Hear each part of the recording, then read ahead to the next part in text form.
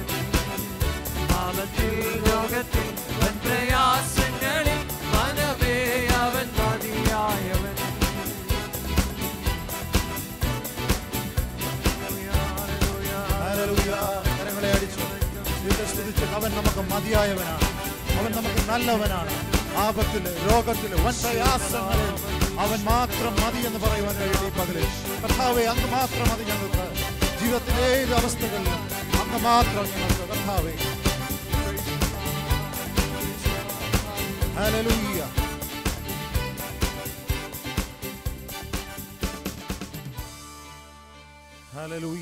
സ്തോത്രം.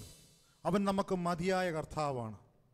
ഈ പകലിൽ ഞങ്ങളെ കേൾക്കുന്ന പ്രിയപ്പെട്ടവരെ ദൈവത്തിന്റെ സ്നേഹം നാം ഓരോ ദിവസവും രുചിച്ചറിയുന്നവരാണ്.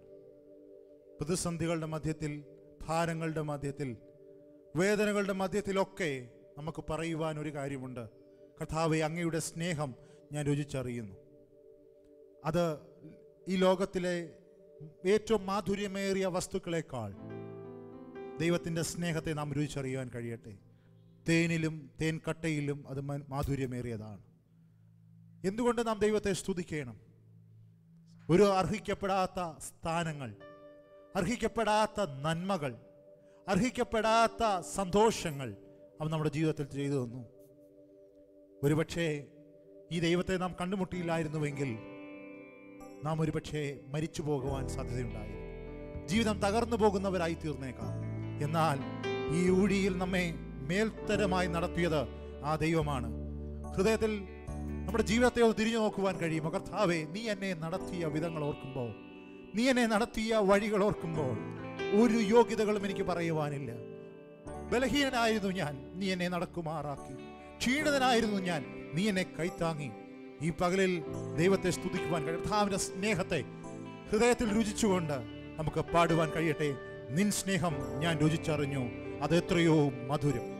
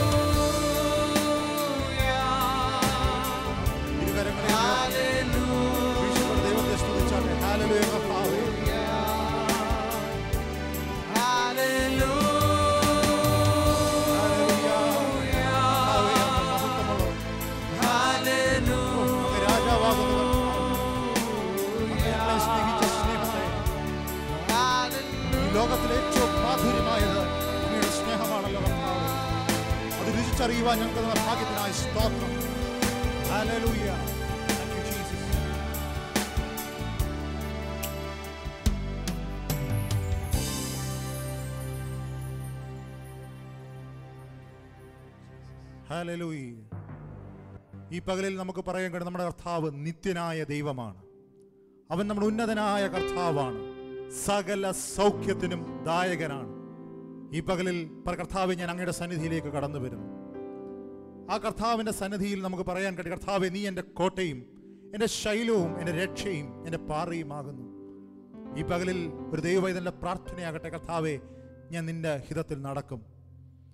ഏത് ജീവിതത്തിന്റെ ഏത് അവസ്ഥകളാണെങ്കിലും ഏത് വിഷയങ്ങളാണെങ്കിലും കർത്താവെ ഞാൻ അങ്ങയുടെ വഴിയിൽ തന്നെ നടക്കും. നിന്റെ സന്നിധിയിലേക്ക് വരുന്നു. നമ്മുടെ ഹൃദയത്തെ ദൈവസന്നിധി സമർപ്പിക്കുവാൻ കഴിയുമോ? ഈ കത്തുപകലിൽ കർത്താവിനോട് പറ കർത്താവെ ഞാൻ നിന്റെ സന്നിധിയിലേക്ക് വരുന്നു. അങ്ങ് പരിശുദ്ധനാണ്. അങ്ങ് വീരനാം ദൈവമാണ് കർത്താവെ. നമുക്കൊരു ശിശു ജനിച്ചിരിക്കുന്നു നമുക്കൊരു മകൻ നൽകപ്പെട്ടിരിക്കുന്നു.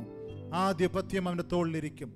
അത്ഭുത മന്ത്രി വീരനാം ദൈവം നിത്യപിതാവ് സമാധാന പ്രഭു എന്ന് വിളിക്കപ്പെടും. ഇന്ന് ആ ദൈവസന്നിധിയിൽ ഒരുമിച്ച് കർത്താവിനെ നമുക്ക് സ്തുതിക്കാം.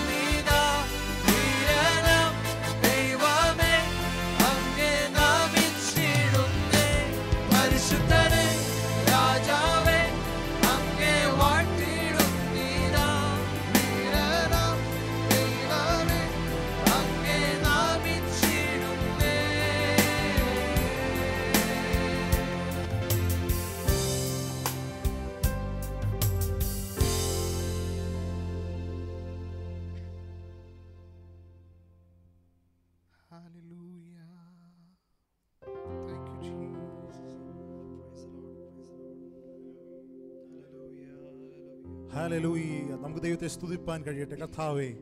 അങ്ങ് ഞങ്ങളെ നടത്തുന്ന വഴികളെ ഓർക്കുമ്പോൾ അങ്ങ് ഞങ്ങളെ നടത്തുന്ന ഹിതങ്ങളെ ഓർക്കുമ്പോൾ ഓരോ നാളും അവന്റെ കൃപയിൽ നമുക്ക് നടക്കുവാൻ കഴിയും. ഈ ഭൂമിയിൽ എത്ര നാൾ നമ്മൾ ആയിരിക്കും നമുക്കറിയത്തില്ല.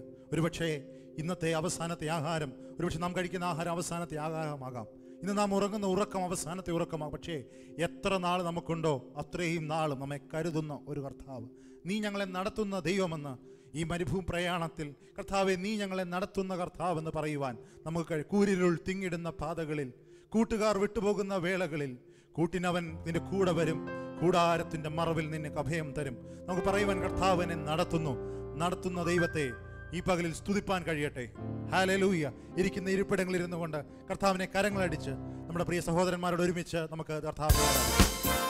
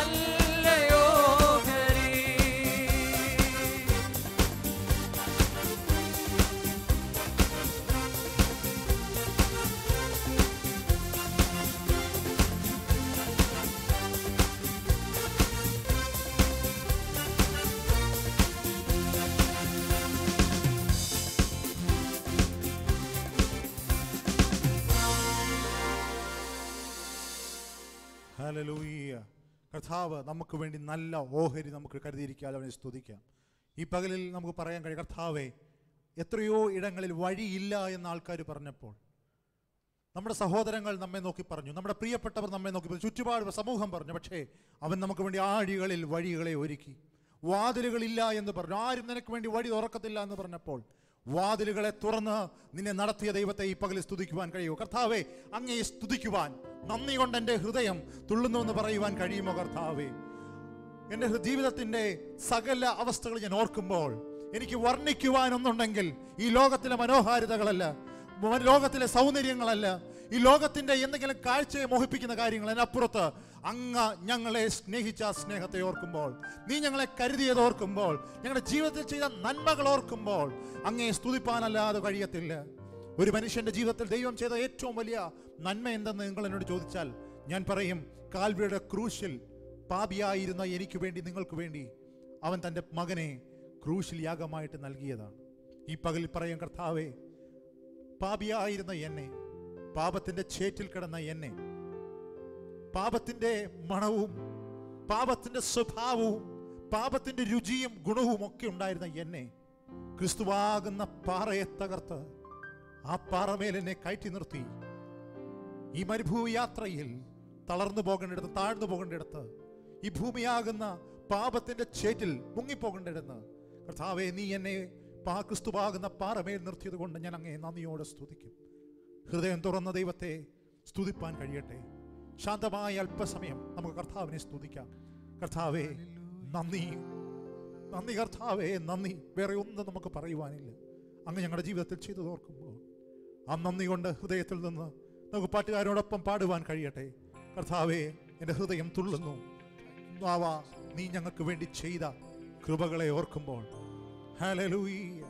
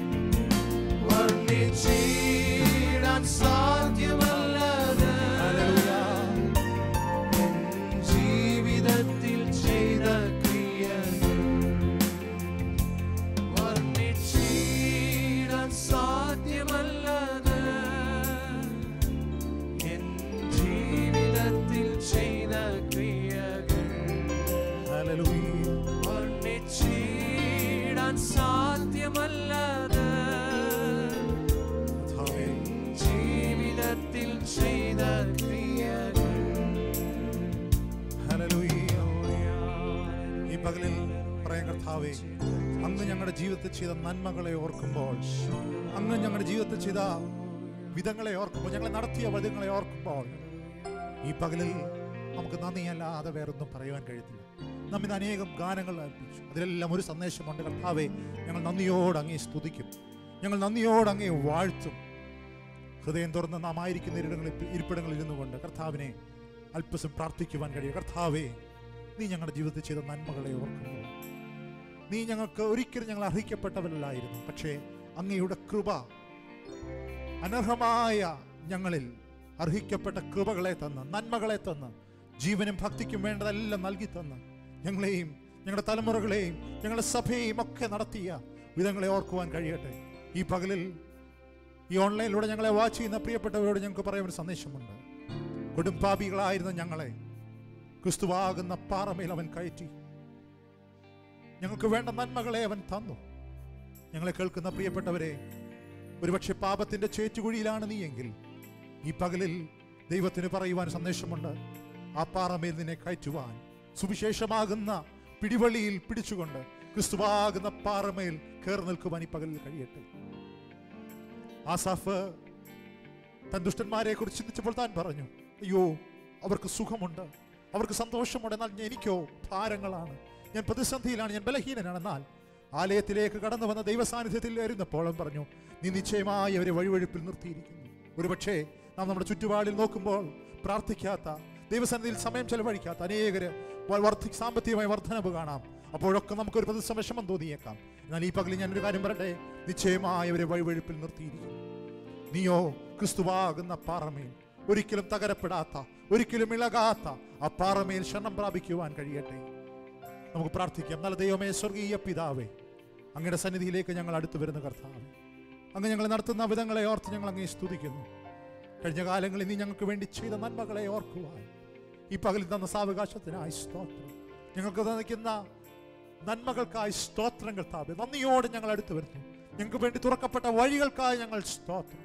ഞങ്ങൾക്ക് തന്നിരിക്കുന്ന എല്ലാ നന്മകൾക്കായി ഞങ്ങൾ അങ്ങേ സ്തുതിക്കുന്ന കർത്താവേ. അങ്ങയുടെ എല്ലാ വിധങ്ങൾക്കായി സ്തോത്രം. അങ്ങ് ഞങ്ങളെ സഹായിച്ചാട്ടെ. സഭയായി. ഈ ഓൺലൈനിലൂടെ ഞങ്ങളെ വാച്ച് ചെയ്യുന്ന എല്ലാ പ്രിയപ്പെട്ടവരെ ഞങ്ങൾ ഓർത്ത് പ്രാർത്ഥിക്കുന്നു. അവരുടെ ജീവിതത്തിൽ ജീവനും ഭക്തിക്കും വേണ്ടതെല്ലാം അങ്ങ് നൽകണമേ അങ്ങയോട് പ്രാർത്ഥിക്കുന്നു. ഞങ്ങൾ ഞങ്ങളുടെ ദേശത്തെ ഓർത്ത് പ്രാർത്ഥിക്കുന്നു. ഈ ദിവസങ്ങളിൽ കർത്താവെ ഈ മഹാമാരിയിൽ നിന്ന് ഈ മഹാവിപത്തിൽ നിന്ന് ഒരു സൗഖ്യം ദേശത്ത് നൽകണമെന്ന് അങ്ങയോട് പ്രാർത്ഥിക്കുന്നു. ആരോഗ്യ മേഖലകളിൽ പ്രവർത്തിക്കുന്ന പ്രിയപ്പെട്ടവരെ ഓർത്ത് പ്രാർത്ഥിക്കുന്നു. പ്രായമുള്ള മാതാപിതാക്കളെ ഞങ്ങൾ ഓർത്ത് പ്രാർത്ഥിക്കുന്നു. കുഞ്ഞുങ്ങളെ ഓർത്ത് പ്രാർത്ഥിക്കുന്നു കർത്താവെ. ഞങ്ങളെ ഭരിക്കുന്ന ദേശ കർത്താവ് ഭരണകർത്താക്കളെ ഞങ്ങൾ ഓർത്ത് പ്രാർത്ഥിക്കുന്നു. അവരെല്ലാം സഹായിച്ചാട്ട്. അങ്ങേ കർത്താവെ സുഗ്രാഹ്യമായ ഒരു ജീവിതം നയിക്കുവാൻ ഞങ്ങളെ സഹായിച്ചാട്ട്. പ്രാർത്ഥന കേട്ടതിനായി സ്തോത്രം. യേശു കർത്താവിന്റെ നാമത്തിൽ തന്നെ. ആമേൻ ആമേൻ ആമേൻ.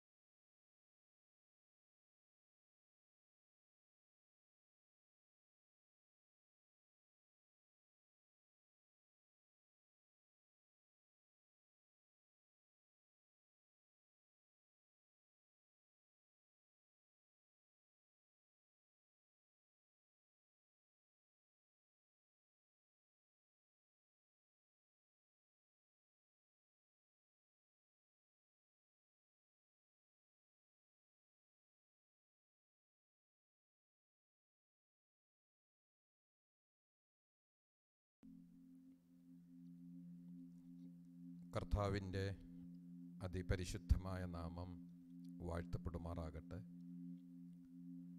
എല്ലാ ദൈവമക്കൾക്കും ക്രിസ്തു യേശുവിന്റെ നാമത്തിൽ സ്നേഹവന്ദനം നൽകുന്നു. പ്രാർത്ഥിച്ച് വീടുകളിൽ നാം കർത്താവിനെ ആരാധിക്കുകയാണല്ലോ. സഹോദരന്മാർ പാടി ദൈവത്തെ മഹത്വപ്പെടുത്തിയപ്പോൾ നാമും അവരോടൊപ്പം കർത്താവിനെ പാടി മഹത്വപ്പെടുത്തുകയായിരുന്നു. കഴിഞ്ഞ ഈ ഒരാഴ്ചയും കർത്താവിന്റെ സൂക്ഷിപ്പ് ഉണ്ടായിരുന്നു. നമ്മുടെ സംസ്ഥാനത്ത് രോഗികളുടെ എണ്ണമൊക്കെ വർദ്ധിക്കുന്ന ഈ പ്രത്യേക സാഹചര്യത്തിൽ ദൈവത്തിന്റെ സൂക്ഷിപ്പും പരിപാലനവും കർത്താവ് നമുക്ക് നൽകുന്നല്ലോ. നമ്മുടെ കൂട്ടു സഹോദരി സഹോദരന്മാരൊക്കെ ദൈവകൃപയാൽ ക്ഷേമമായിരിക്കുന്നു. ശാരീരികമായി അല്പം പനിയുടെ മറ്റും പ്രയാസമുള്ള പ്രിയപ്പെട്ടവർക്കതൊന്നും സീരിയസ് ആകാതെ കർത്താവ് സൗഖ്യവും ആരോഗ്യവും നൽകി ദൈവം നൽകിയ വിടുതൽ ഓർത്തു ദൈവത്തിന് സ്തോത്രം ചെയ്യുന്നു. വികാസ് നഗറിൽ താമസിക്കുന്ന നമ്മുടെ പ്രിയ കൊച്ചുമച്ചായൻ കൊച്ചുമകൾ മെൽവിനുമായി സ്കൂട്ടറിൽ യാത്ര ചെയ്തപ്പോൾ കേശവദാസപുരത്തിനടുത്ത് വച്ച് ഒരു അപകടം സംഭവിച്ചു. എന്നാൽ ദൈവം തന്റെ ജീവനെയും പൈതലിന്റെ ജീവനെയും വിടുവിച്ചു. അല്പമായ ശാരീരിക ക്ഷതം ഉണ്ടായി. മറ്റ് അപകടങ്ങളൊന്നും ഉണ്ടാകാതെ ദൈവം വിടുവിച്ചു. നമ്മുടെ പ്രിയ സഹോദരൻ മുരളി ബ്രദർ ശരീരത്തിൽ വേണ്ടത്ര സൗഖ്യം ഇല്ലാതെ ഭവനത്തിൽ ദീർഘനാളുകളായി വിശ്രമിക്കുകയാണല്ലോ. അല്പമായ ശാരീരിക ക്ലേശം ഈ ദിവസങ്ങളിൽ ഉണ്ടായെങ്കിലും കർത്താവ് സൂക്ഷിക്കുന്നു.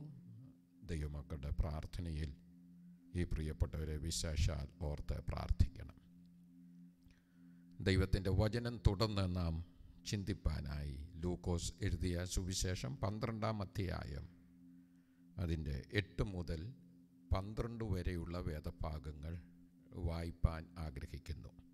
Gospel of Luke chapter twelve verses eight to twelve. മനുഷ്യരുടെ മുൻപിൽ ആരെങ്കിലും എന്നെ ഏറ്റുപറഞ്ഞാൽ അവനെ മനുഷ്യപുത്രനും ദൈവദൂതന്മാരുടെ മുമ്പാകെ ഏറ്റുപറയും. മനുഷ്യരുടെ മുമ്പിൽ എന്നെ തള്ളിപ്പറയുന്നവനെ ദൈവദൂതന്മാരുടെ മുമ്പിൽ തള്ളിപ്പറയും. മനുഷ്യപുത്രന്റെ നേരെ ഒരു വാക്കു പറയുന്ന ഏവനോടും ക്ഷമിക്കും. പരിശുദ്ധാത്മാവിന്റെ നേരെ ദൂഷണം പറയുന്നവനോടോ ക്ഷമിക്കയില്ല എന്ന് ഞാൻ നിങ്ങളോട് പറയുന്നു. എന്നാൽ നിങ്ങളെ പള്ളികൾക്കും കോയ്മകൾക്കും അധികാരങ്ങൾക്കും മുമ്പിൽ കൊണ്ടുപോകുമ്പോൾ എങ്ങനെയോ എന്തോ പ്രതിവാദിക്കേണ്ടു എന്തു പറയേണ്ടു എന്ന് വിചാരപ്പെടേണ്ട. പറയേണ്ടത് പരിശുദ്ധാത്മാവ് ആ നാഴികയിൽ തന്നെ നിങ്ങളെ പഠിപ്പിക്കും. നമ്മുടെ കർത്താവ് ശിഷ്യന്മാരോട് സംസാരിക്കുന്ന ഒരു പ്രത്യേക സന്ദർഭമാണ്. യേശുക്രിസ്തുവിന്റെ ആ സാന്നിധ്യം അവർക്ക് ഒരു പ്രത്യേക സുരക്ഷിത ബോധം നൽകുന്നുണ്ട്. അപ്പോൾ തന്നെ യേശുക്രിസ്തുവിന്റെ സാന്നിധ്യം അവരെ ഭയപ്പെടുത്തുകയും ചെയ്യുന്നുണ്ട്. ഒരു ഭാഗത്ത് അവർ സുരക്ഷിതരായിരിക്കുമ്പോൾ മറുഭാഗത്ത് ഓരോ ദിവസം കഴിയുന്തോറും അവർ യേശു ക്രിസ്തുവിനെ അടുത്തടുത്ത് അനുഗമിക്കുകയും അവനെ അവർ അവരുടെ ജീവിതത്തിലൂടെയും സാക്ഷ്യത്തിലൂടെയും വാക്കിലൂടെയും വെളിപ്പെടുത്തുകയും ചെയ്യുമ്പോൾ അവർ ഭീഷണി നേരിടുന്നുണ്ട്. അങ്ങനെ ഉള്ള ഒരു പ്രത്യേക സാഹചര്യത്തിൽ കർത്താവ് അവരെ വിട്ട് പോയി കഴിഞ്ഞതിനു ശേഷം ഒക്കെ ഉള്ള ഭൂമിയിലെ അവരുടെ ജീവിതത്തിൽ അവരൊക്കെ പല കാര്യങ്ങളെക്കുറിച്ചും ചിന്തിച്ച് അവരുടെ ഹൃദയത്തിൽ മനസ്സിൽ വളരെ ആശയക്കുഴപ്പം അവർക്ക് ഉണ്ടാകുന്നുണ്ട്. നമ്മുടെ കർത്താവ് ഇതെല്ലാം നന്നായി മനസ്സിലാക്കുന്നുണ്ട്. നമുക്കറിയാമല്ലോ പത്തിരുപത്തി മൂന്ന് ഇരുപത്തിനാല് വയസ്സുവരെ വീട്ടിൽ അപ്പന്റെയും അമ്മയുടെയും കുടുംബാംഗങ്ങളുടെയും ഒക്കെ സ്നേഹം ധാരാളം അനുഭവിച്ച ഒരു പെൺകുട്ടി. അവളെ വിവാഹം കഴിപ്പിച്ച് മണവാളനോട് കൂടെ മണവാളന്റെ വീട്ടിലേക്ക് മണിയറയിലേക്ക് കൊണ്ട് ആക്കുന്ന ഒരു പാരമ്പര്യം നമ്മുടെ മധ്യത്തിലുണ്ട്. പത്തായിരം പേര് കൂടുന്ന വിവാഹത്തിൽ അവളെ മണവാളന്റെ വീട്ടിലോട്ട് ഏറ്റവും അടുത്ത കുടുംബാംഗങ്ങൾ കൊണ്ടുചെന്നാക്കും സാധാരണ വലത്തെ കാൽ വെച്ചൊക്കെ ആയിരിക്കും കയറുന്നത്. മണവാളന്റെ അമ്മയും മണവാട്ടിയുടെ അമ്മയും ഒക്കെ കൂടെ ഉണ്ട്. മണവാളന്റെ അമ്മയായിരിക്കും വലം കൈ കൊടുത്ത് മണവാളനെയും മണവാട്ടിയെയും മരുമകളെ സ്വീകരിക്കും.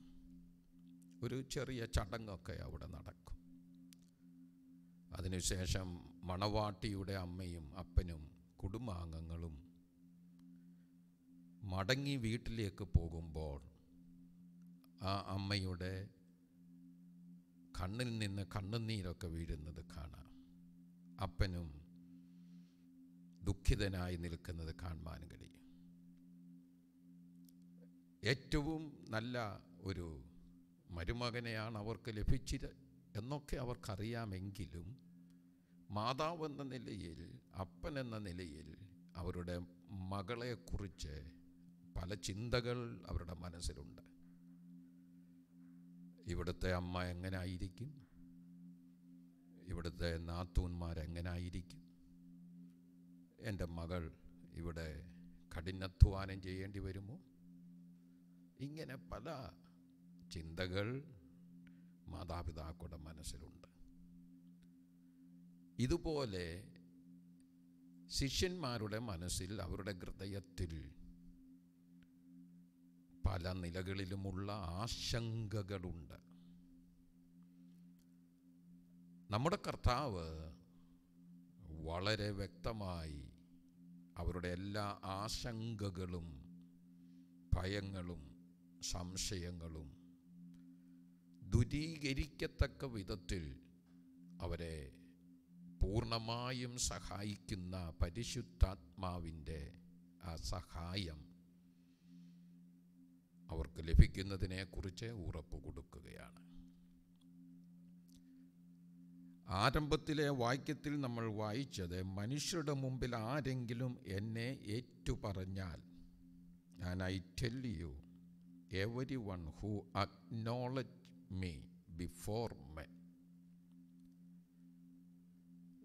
ഒരു ചെറിയ ജീവിതമേ നമുക്കിവിടെ ഉള്ളൂ. എന്നാൽ ആ ചെറിയ ജീവിതം നമ്മുടെ കർത്താവിന്റെ മഹത്വത്തിനായുള്ള ജീവിതമാണ്.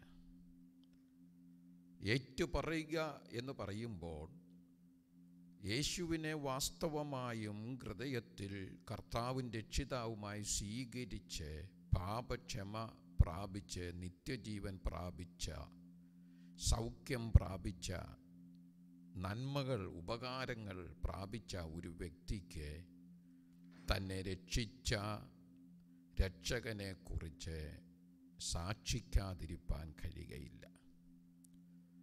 ഏറ്റുപറയുന്നു എന്ന് പറയുമ്പോൾ അതിന്റെ അർത്ഥം യേശുക്രിസ്തുവിന്റെ സാക്ഷികളായി ജീവിക്കുന്നു എന്നുള്ളതാണ്.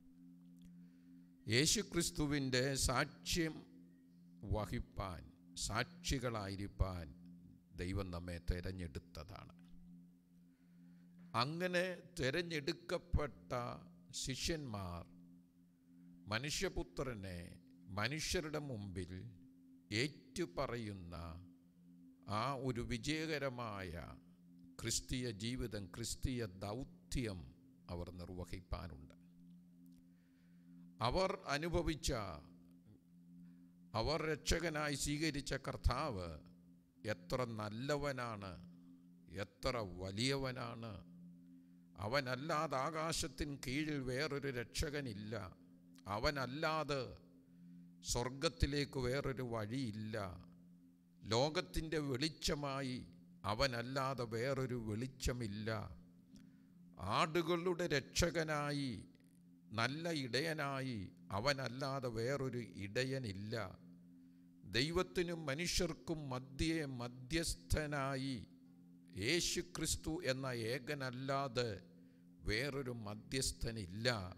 ഈ വിധ യാഥാർത്ഥ്യങ്ങൾ തിരിച്ചറിഞ്ഞ അനുഭവിച്ച ഒരു വ്യക്തി അവന്റെ രക്ഷയുടെ അനുഭവങ്ങൾ രക്ഷകനെ കുറിച്ചുള്ള സാക്ഷ്യം അവൻ അത് ഏറ്റുപറയേണ്ടതാണ് ചന്തസ്ഥലങ്ങളിൽ അത് ഏറ്റുപറയണം.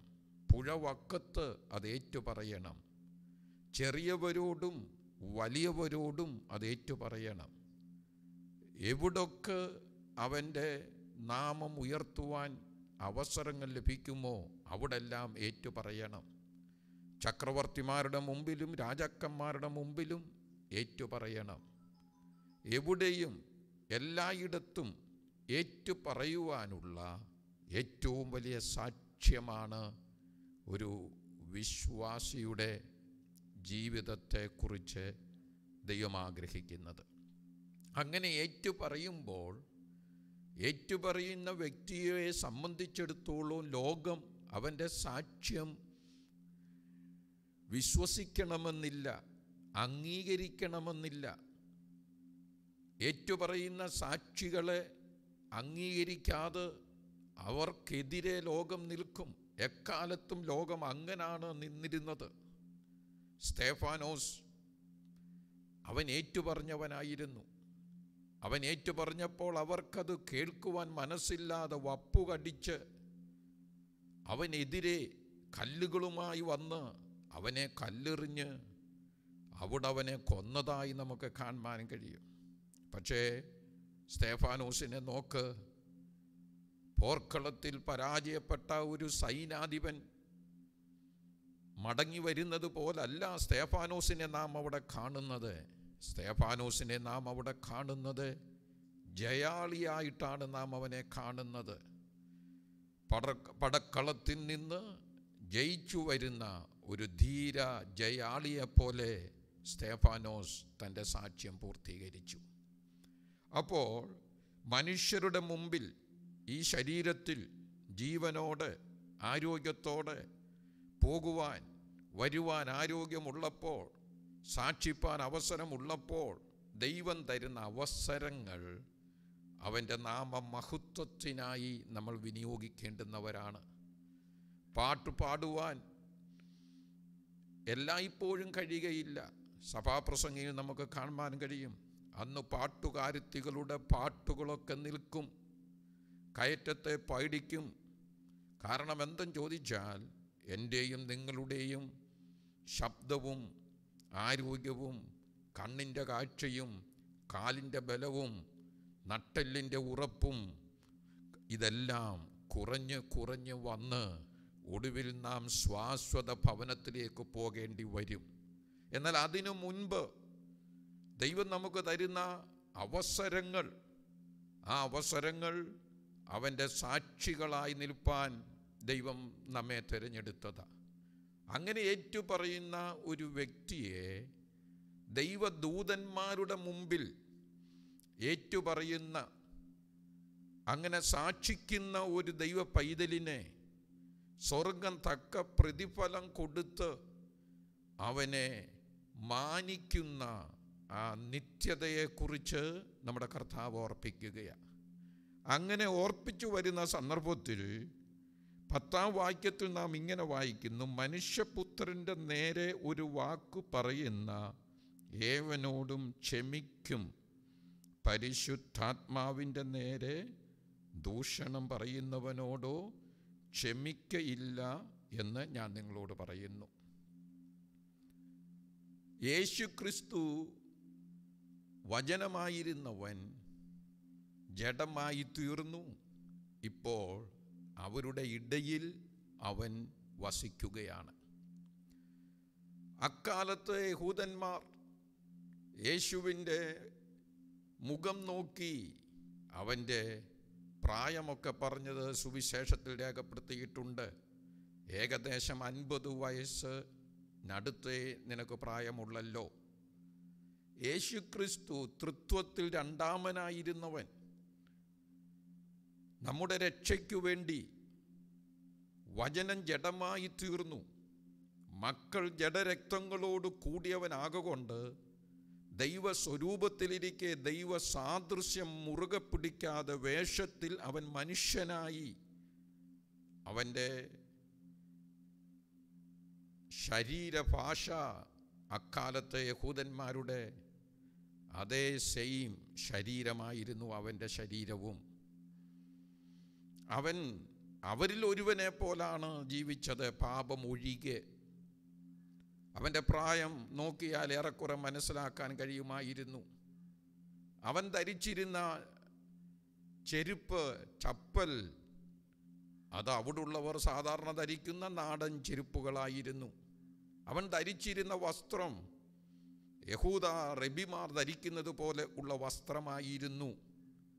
അവന് നടക്കുവാൻ രണ്ട് കാലേ ഉണ്ടായിരുന്നുള്ളൂ. അവന് പത്തു വിരലുകളെ ഉണ്ടായിരുന്നുള്ളൂ. യേശു ക്രിസ്തു വചനമായിരുന്നവൻ ഒരു രൂപമെടുത്തു മക്കളുടെ രൂപമെടുത്തു പാപജടത്തിന്റെ സാദൃശ്യത്തിലായി. അവരുടെ കണ്ണുകൊണ്ട് ലോകത്തിന് അവനെ കാണാം ലോകത്തിന് അവനെ കേൾക്കാം തൊടാം മനസ്സിലാക്കാം. എന്നാൽ അങ്ങനെ വചനം ജഡമായി തീർന്ന മനുഷ്യപുത്രനെ സംശയിക്കുന്നതിൽ ഒരർത്ഥത്തിൽ യഹൂദന്മാർക്ക് അവകാശമുണ്ട്. കാരണം അവനും മറ്റുള്ളവരും തമ്മിൽ പുറമേ നോക്കുമ്പോൾ ഏറെക്കുറെയൊക്കെ ഒരുപോലെ ഇരിക്കുന്നു. പരിശുദ്ധാത്മാവ് ഇങ്ങനെയുള്ള ഒരു രൂപമെടുത്തിട്ടില്ല. വചനം ജഡമായി തീർന്നതുപോലെ പരിശുദ്ധാത്മാവ് ഒരു ദേഹരൂപം എടുത്തിട്ടില്ല. പരിശുദ്ധാത്മാവാകുന്ന ദൈവം എക്കാലത്തും എല്ലായിടത്തും പ്രവർത്തിച്ചു കൊണ്ടിരിക്കുകയാണ്. ആ പരിശുദ്ധാത്മാവിന്റെ പ്രവർത്തനത്തെ പരിശുദ്ധാത്മാവിന്റെ ആളത്വത്തെ പരിശുദ്ധാത്മാവിന്റെ ആ നിറഞ്ഞ സാന്നിധ്യത്തെ തിരിച്ചറിയുന്ന ശിഷ്യന്മാർ അവർ പരിശുദ്ധാത്മാവിന്റെ നിറവിലും നിയോഗത്തിലും മനുഷ്യപുത്രനെ ഏറ്റുപറയുന്ന ഒരു സാക്ഷ്യമുള്ള ജീവിതം ചെയ്യുമ്പോൾ ലോകം അത് അംഗീകരിക്കാതെ ലോകം പരിശുദ്ധാത്മാവിനെ ആ വാക്യത്തിൽ വ്യക്തമായി രേഖപ്പെടുത്തിയിരിക്കുന്നത് പരിശുദ്ധാത്മാവിന്റെ നേരെ ദൂഷണം പറയുന്നവനോടോ ക്ഷമിക്കയില്ല. യേശുക്രിസ്തുവിനെ അന്നുള്ളവർക്ക് അവരുടെ കണ്ണിന് മുമ്പിൽ കാണാം. രണ്ട് സീറ്റുള്ള ഒരു ബസ്സിൽ രണ്ടുപേരിരിക്കുന്ന ആ ഭാഗത്ത് പത്രോസ് വലത്തുവശത്തിരുന്നാൽ യേശു ക്രിസ്തുവിന് ഇടത്തുവശത്തിരിക്കാം അങ്ങനെ ഇരിക്കുന്ന ഒരു ദേഹരൂപം അവനുണ്ട്. പരിശുദ്ധാത്മാവാം ദൈവം അങ്ങനെ ഒരു ദേഹരൂപത്തിലല്ല പ്രവർത്തിക്കുന്നത്. പണ്ടും അങ്ങനെ പ്രവർത്തിച്ചിട്ടില്ല. യേശുക്രിസ്തുവിന്റെ കാലത്തും അങ്ങനെ പ്രവർത്തിച്ചിട്ടില്ല. പെന്തക്കോസ് നാളിലും അങ്ങനെ പ്രവർത്തിച്ചിട്ടില്ല. പരിശുദ്ധാത്മാവ് വേഷത്തിൽ മനുഷ്യനായ യേശുക്രിസ്തുവിനെ പോലെ മനുഷ്യനായി വെളിപ്പെട്ടിട്ടില്ല. പക്ഷേ പരിശുദ്ധാത്മാവിന്റെ പ്രവർത്തനം ലോകത്തിലെല്ലായിടത്തുമുണ്ട്. വിശേഷിച്ച് ആത്മനിറവ് പ്രാപിച്ച ഒരു വിശ്വാസിയുടെ ജീവിതത്തിൽ പരിശുദ്ധാത്മാവിന്റെ സമ്പൂർണ നിയന്ത്രണത്തിൽ അവൻ ജീവിക്കേണ്ടുന്നവനാണ് പരിശുദ്ധാത്മാവിന്റെ സമ്പൂർണ നിയന്ത്രണത്തിൽ ജീവിക്കുന്ന ശിഷ്യന്മാർ ജീവിക്കേണ്ടുന്ന ശിഷ്യന്മാർ അവർ ഉപദേശിക്കുമ്പോൾ അവർ ശുശ്രൂഷിക്കുമ്പോൾ യേശു ക്രിസ്തുവിന്റെ നാമത്തിൽ അത്ഭുതങ്ങളും അടയാളങ്ങളും നടക്കുമ്പോൾ ലോകം പരിശുദ്ധാത്മാവിനോട് പരിശുദ്ധാത്മാവിന്റെ നേരെ ദൂഷണം പറയും. അങ്ങനെ ദൂഷണം പറയുമ്പോൾ ആ പാപം ക്ഷമിക്കാത്ത പാപങ്ങളുടെ പട്ടികയിൽ വരികയാണ്. ആ കാര്യം നമ്മുടെ കർത്താവ് ഒരു പ്രിൻസിപ്പിൾ ഡോക്ടർ എന്ന നിലയിൽ ശിഷ്യന്മാരോട് പഠിപ്പിച്ച ശേഷം അടുത്ത ഭാഗം അതിനോട് ചേർത്ത് നമുക്ക് കാണുവാൻ കഴിയും. എന്നാൽ നിങ്ങളെ പള്ളികൾക്കും കോയ്മകൾക്കും അധികാരങ്ങൾക്കും മുമ്പിൽ കൊണ്ടുപോകുമ്പോൾ എങ്ങനെയോ എന്തോ പ്രതിവാദിക്കേണ്ടു എന്തു പറയേണ്ടു എന്ന് വിചാരപ്പെടേണ്ട. പറയേണ്ടത് പരിശുദ്ധാത്മാവ് ആ നാഴികയിൽ തന്നെ നിങ്ങളെ പഠിപ്പിക്കും. ആ ഭാഗമാണ് നാം അല്പ മിനിറ്റുകൾ ധ്യാനിപ്പാൻ പ്രധാനമായും ആഗ്രഹിക്കുന്നത്. അതിന്റെ ഒരു മുഖവര ആണ് മുമ്പ് പറഞ്ഞ വാക്യങ്ങളിൽ നിന്നും ഞാൻ ഓർപ്പിച്ചത്. ശിഷ്യന്മാരോട് നമ്മുടെ കർത്താവ് പറയുകയാണ് പരിചയമുള്ള സ്ഥലത്ത് പരിചയക്കാരുടെ നടുവിൽ സ്വന്തക്കാരുടെ നടുവിൽ ചാർച്ചക്കാരുടെ നടുവിൽ സ്നേഹിതരുടെ നടുവിൽ ജീവിക്കുന്നത് ഒരു സുരക്ഷിതമായ ജീവിതമാണ്. അതൊരു സേഫ് സോണാണ്. എന്നാൽ നിങ്ങൾ കേട്ടിട്ടില്ലാത്ത നിങ്ങൾ കണ്ടിട്ടില്ലാത്ത നിങ്ങൾക്ക് പരിചയമില്ലാത്ത നിങ്ങൾ ഇതുവരെ പോയിട്ടില്ലാത്ത നിങ്ങൾ ഇതുവരെ അഭിമുഖീകരിച്ചിട്ടില്ലാത്ത ചില പുതിയ ഇടങ്ങൾ യാഥാർത്ഥ്യങ്ങൾ വെല്ലുവിളികൾ ഒക്കെ വരും ദിവസങ്ങളിൽ നിങ്ങൾ അഭിമുഖീകരിക്കേണ്ടി വരും. അങ്ങനെയുള്ള സാഹചര്യത്തിൽ അങ്ങനെയുള്ള സന്ദർഭങ്ങളിൽ നിങ്ങൾ മുൻകൂട്ടി അവിടെ എങ്ങനായിരിക്കും എന്തായിരിക്കും എന്നോർത്ത് നിങ്ങൾ ഭാരപ്പെടേണ്ട ഓരോ സെക്കൻഡിലും ഓരോ മണിക്കൂറും ഓരോ യാമങ്ങളിലും ഓരോ പകലും ഓരോ രാത്രിയിലും ഓരോ ആഴ്ചയിലും ഓരോ മാസത്തും ഓരോ വർഷങ്ങളിലും ജീവിതത്തിന്റെ ഒടുവ് വരെയുള്ള എല്ലാ എല്ലാ ഘട്ടങ്ങളിലും പരിശുദ്ധാത്മാവിന്റെ വിശേഷമാകുന്ന സഹായം നിങ്ങൾക്ക് ലഭിക്കും. വീട്ടിൽ നമ്മൾ നിത്യം ഉപയോഗിക്കുന്ന ചില വസ്തുക്കളുണ്ട്. നിത്യം ഉപയോഗിക്കുന്ന ചില വസ്തുക്കൾ.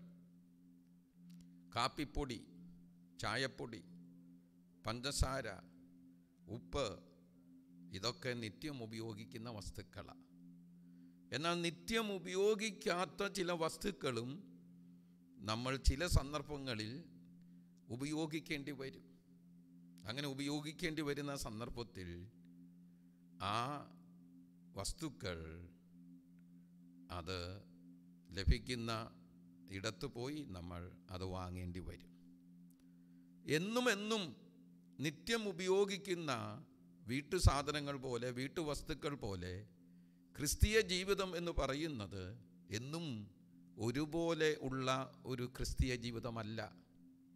ഈ ക്രിസ്തീയ ജീവിതത്തിൽ ഏറ്റക്കുറിച്ചിലുകളുണ്ട്. ഈ ക്രിസ്തീയ ജീവിതത്തിൽ ഉയർച്ചകളും താഴ്ചകളുമുണ്ട് ക്രിസ്തീയ ജീവിതത്തിൽ പല നിലകളിൽ പല രൂപത്തിൽ പല ഭാവത്തിൽ പല യാഥാർത്ഥ്യങ്ങളെ നമ്മൾ അഭിമുഖീകരിക്കേണ്ടി വരും. അങ്ങനെ അഭിമുഖീകരിക്കേണ്ടി വരുന്ന എല്ലാ സാഹചര്യങ്ങളിലും അവിടെ നമ്മെ വിജയകരമായി നടത്തുവാൻ പരിശുദ്ധാത്മാവിന് കഴിയും. കോട്ടയത്ത് നിന്ന് മുണ്ടക്കയം കാഞ്ഞിരപ്പള്ളി വഴി കുമളിക്ക് പോകുന്ന ഒരു യാത്രക്കാരൻ കോട്ടയത്തിൽ നിന്ന് യാത്ര പുറപ്പെടുമ്പോൾ നല്ല വഴിയാ നല്ല റോഡാ അധികം വളവുകളൊന്നുമില്ല. അപ്പോൾ ഓർക്കും കുമളി വരെയും ഇങ്ങനായിരിക്കും സ്ഥിതി എന്ന്. എന്നാൽ പൊൻകുന്നം കഴിയുമ്പോൾ മുണ്ടക്കയമൊക്കെ കഴിയുമ്പോൾ പിന്നീട് കയറ്റവും വളവുകളുമാ. ആ കയറ്റവും വളവും കൂടെ പൂർത്തീകരിച്ചാലേ കുമിളിയിലെത്തുവാൻ കഴിയൂ. വിശ്വാസ ജീവിതത്തിൽ ക്രിസ്തീയ ജീവിതത്തിൽ ശിഷ്യന്മാർ ദൈവമക്കൾ വിശുദ്ധന്മാർ ഈ ഭൂമിയിൽ നാം ചില ഇടങ്ങളിൽ അവന്റെ നാമനിമിത്തം ചോദ്യം ചെയ്യപ്പെടും. ചില പ്രത്യേക സ്ഥലങ്ങളിൽ നമ്മൾ പരീക്ഷിക്കപ്പെടും. ചില പ്രത്യേക ഇടങ്ങളിൽ നമ്മൾ മുമ്പോട്ട് പോകുവാൻ കഴിയാത്ത നിലയിലുള്ള ചില സാഹചര്യങ്ങൾ അഭിമുഖീകരിക്കേണ്ടി വരും. അങ്ങനെയുള്ള സന്ദർഭങ്ങളിൽ പരിശുദ്ധാത്മാവ് നമ്മെ ശക്തീകരിക്കും. Special empowering in special circumstances ഇവിടെ പറയുന്ന സ്പെഷ്യൽ സർക്കംസ്റ്റാൻസസ് എന്ന് പറയുന്നത് സന്തോഷകരമായ വിവാഹം പോലുള്ള സ്പെഷ്യൽ ഒക്കേഷൻസ് അല്ല. ഒരു കുഞ്ഞു ജനിക്കുമ്പോഴുള്ള ഒരു സ്പെഷ്യൽ ഒക്കേഷൻ അല്ല. ഒരു വീട് പണിയുമ്പോൾ ഉള്ള ഒരു സ്പെഷ്യൽ ഒക്കേഷൻ അല്ല. ഒരു പുതിയ വാഹനം വാങ്ങുന്നത് പോലുള്ള ഒരു സ്പെഷ്യൽ ഒക്കേഷൻ അല്ല. ഇവിടെ പറയുന്ന സ്പെഷ്യൽ ഒക്കേഷൻ എന്ന് പറയുന്നത് ഇന്നലെ വരെ നീ കണ്ടിട്ടില്ലാത്ത ചില കൂരിരുട്ടിന്റെ അനുഭവങ്ങളിലൂടെ നീ പോകേണ്ടി വരും. ഇന്നലെ വരെയും നീ അഭിമുഖീകരിച്ചിട്ടില്ലാത്ത ചില മല്ലന്മാർ നിന്റെ മുമ്പിൽ വന്ന് വെല്ലുവിളിക്കും. ഇന്നലെ വരെ നീ കൈകാര്യം ചെയ്യാത്ത ചില വിഷയങ്ങൾ കൈകാര്യം ചെയ്യേണ്ടി വരും. ഇന്നലെ വരെ നീ മനസ്സിൽ പോലും ചിന്തിക്കാത്ത ചില അപവാദങ്ങളുടെ മുമ്പിൽ നീ നിൽക്കേണ്ടി വരും. ലോകം മുഴുവൻ നിനക്കെതിരെ യുദ്ധം ചെയ്യുന്നത് പോലെ നീ തോന്നും. നിന്റെ ദൈവവും നിന്നെ കൈവിട്ടതുപോലെ നിനക്ക് തോന്നും. ഇടയനെ വെട്ടുന്നത് പോലെ നീ ഒറ്റപ്പെട്ടു എന്ന് നിനക്ക് തോന്നും. അങ്ങനെയുള്ള സന്ദർഭത്തിൽ ഒരു കാര്യം അറിഞ്ഞുകൊള്ളണം. അവിടാണ് നിന്നെ പ്രത്യേക നിലയിൽ ശക്തീകരിക്കുന്ന പരിശുദ്ധാത്മാവിന്റെ എംപവറിങ് ആയ ആ ശക്തി നിനക്ക് അനുഭവിപ്പാൻ കഴിയുന്നത്. അങ്ങനെ പരിശുദ്ധാത്മാവ് ശക്തീകരിച്ചവരുണ്ടോ? പഴയ നിയമ കാലഘട്ടങ്ങളിലുമുണ്ട് പുതിയ നിയമത്തിൽ നമുക്ക് അതിന്റെ ഉപദേശപരമായ വചനങ്ങളും തെളിവുകളും നമുക്ക് കാണുവാൻ കഴിയും. പഴയ നിയമ കാലഘട്ടത്തിൽ നമ്മൾ നോക്ക് അതുവരെയും അഭിമുഖീകരിക്കാത്ത ഒരു ക്ഷാമമാണ് മിശ്രൈമിൽ അഭിമുഖീകരിക്കുന്നത്. ഏഴു വർഷത്തെ സമർത്ഥിയായ വിളവ്. ആ സമർത്ഥിയായ വിളവിനെ തുടർന്ന് ഏഴു വർഷത്തെ അതികഠിനമായ ക്ഷാമം. ആ ക്ഷാമം മിശ്രൈമിൽ വന്ന സന്ദർഭത്തിൽ അവിടുത്തെ ജനത്തിന്റെ സ്ഥിതി നമുക്ക് ഉൽപ്പത്തി പുസ്തകത്തിൽ രേഖപ്പെടുത്തിയിട്ടുണ്ട്. ലോകം മുഴുവൻ ഇന്ന് ഭീതിയിൽ കഴിയുകയാണ്. ഭാരതത്തിലായിരിക്കും ഏറ്റവും കൂടുതൽ പട്ടിണി മരണങ്ങൾ എന്നൊക്കെ ആളുകൾ ഇപ്പോൾ മുൻകൂട്ടി തന്നെ പ്രവചിപ്പാൻ തുടങ്ങിയിട്ടുണ്ട്. മിക്ക വീടുകളിലുമൊക്കെ തക്കാളിയും വെണ്ടയ്ക്കായും പയറുമൊക്കെ കൃഷി ചെയ്തു തുടങ്ങി. ആളുകൾ നിലങ്ങളിലേക്കും മറ്റും തിരികെ പോകുന്നു. കാരണം ഒരു പട്ടിണി ഒരു ക്ഷാമം നമ്മുടെ ദേശത്ത് വന്നാൽ അത് അതിജീവിക്കത്തക്ക വിധത്തിൽ നമ്മുടെ ഭാഗത്തു നിന്ന് ചെയ്യാവുന്ന അത്ര കാര്യങ്ങൾ നമ്മൾ ചെയ്യുന്നു. അത് ചെയ്യണം അത് ആവശ്യം തന്നെയാണ് എന്നാൽ ഒരു കാര്യം നമ്മൾ മനസ്സിലാക്കണം ലോകം മുഴുവൻ ക്ഷാമവും മിശ്രയും മുഴുവൻ ക്ഷാമവും വന്ന സന്ദർഭത്തിൽ ആ ക്ഷാമത്തിന്റെ നടുവിൽ ആ രാജ്യത്തിലെ ഒരു വ്യക്തിയെ പോലും പട്ടിണിക്കിടാതെ കാര്യങ്ങൾ കൈകാര്യം ചെയ്യത്തക്ക വിധത്തിൽ കാര്യപ്രാപ്തിയുള്ള ഒരുവൻ അവിടെ ഉണ്ടായിരുന്നു.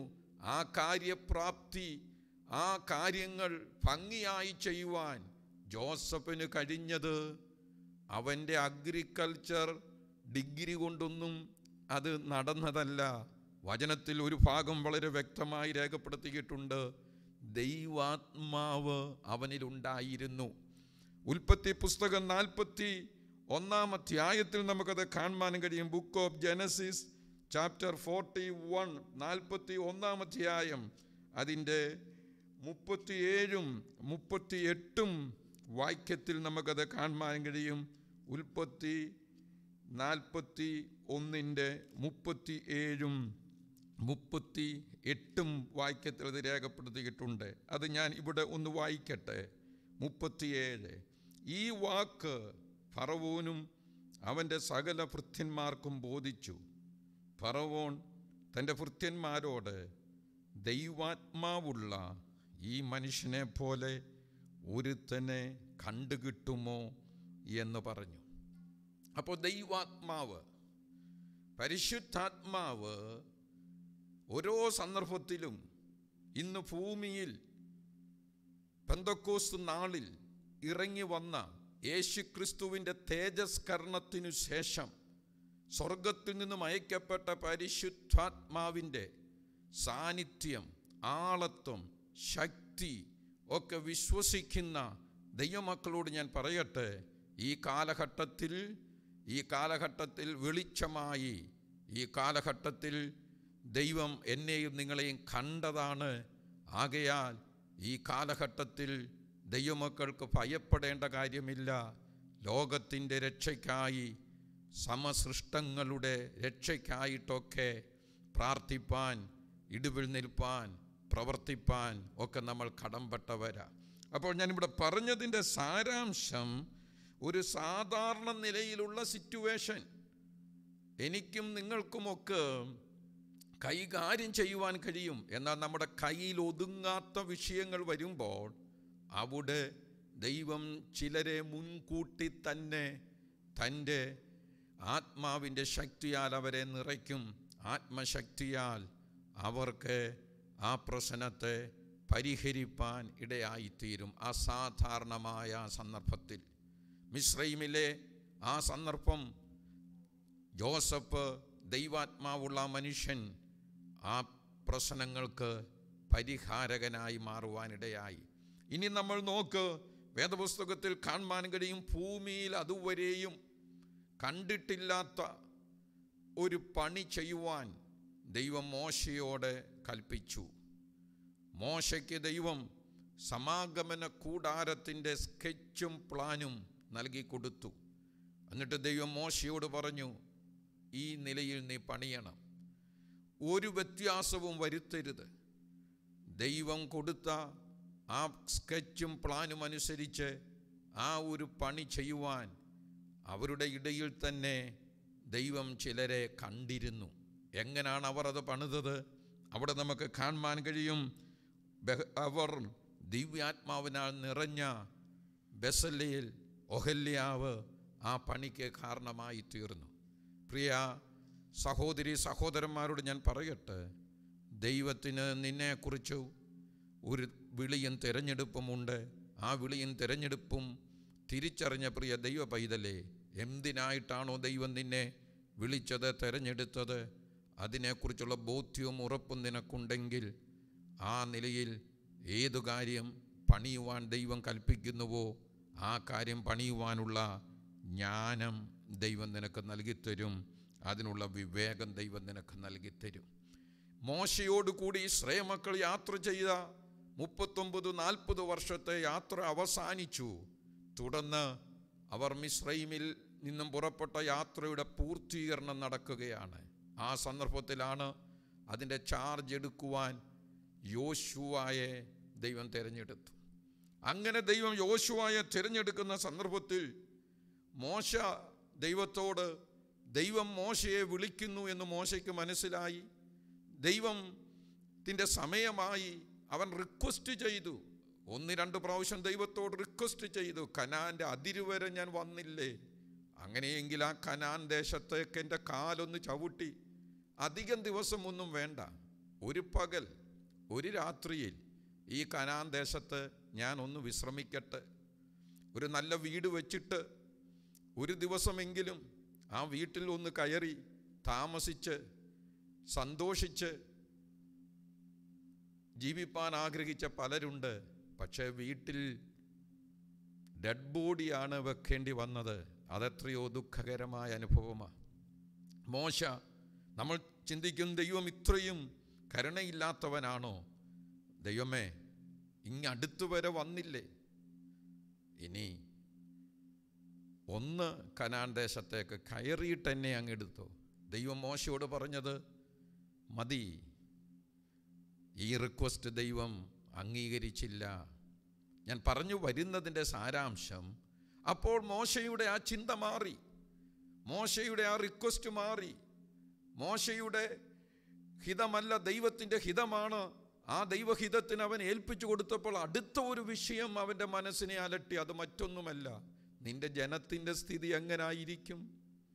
ദൈവം മോശയോട് പറഞ്ഞു മോശേ നിന്റെ മേലുള്ള എന്റെ ആത്മാവിന് തുല്യമായി ഒരുവനെ ഞാൻ കണ്ടിട്ടുണ്ട്. നീ അവനെ ഒന്ന് ജനത്തിന്റെ മുമ്പിൽ വേർതിരിച്ച് നിർത്തി. ഇസ്രായേൽ കാണുക അവന്റെ തലയിൽ കൈവച്ച് അവനെ അനുഗ്രഹിക്കണം. അവൻ ആത്മപൂർണനായി മാറും. സംഖ്യാപുസ്തകം ഇരുപത്തിയേഴാം അധ്യായം. അതിന്റെ പതിനെട്ടാം വേദഭാഗത്ത് നമുക്കത് കാണുവാൻ കഴിയും. സംഖ്യാപുസ്തകം ഇരുപത്തി ഏഴാം അധ്യായം. അതിന്റെ പതിനെട്ടാമത്തെ വാക്യം. Book of Numbers chapter twenty seven verse eighteen അവിടെ നാം ഇങ്ങനെയാണ് വായിക്കുന്നത്. ആ വേദഭാഗത്ത് വളരെ വ്യക്തമായി രേഖപ്പെടുത്തിയിട്ടുണ്ട്. യഹോവ മോശയോട് കൽപ്പിച്ചത് എന്റെ ആത്മാവുള്ള പുരുഷനായി നൂന്റെ മകനായ യോശുവയെ വിളിച്ച് അവന്റെ മേൽ കൈവച്ച് അവനെ പുരോഹിതനായ എലയാസറിന്റെയും സർവസഭയുടെ മുമ്പാകെ നിർത്തി അവർ കാണുക അവന് ആജ്ഞ കൊടുക്ക.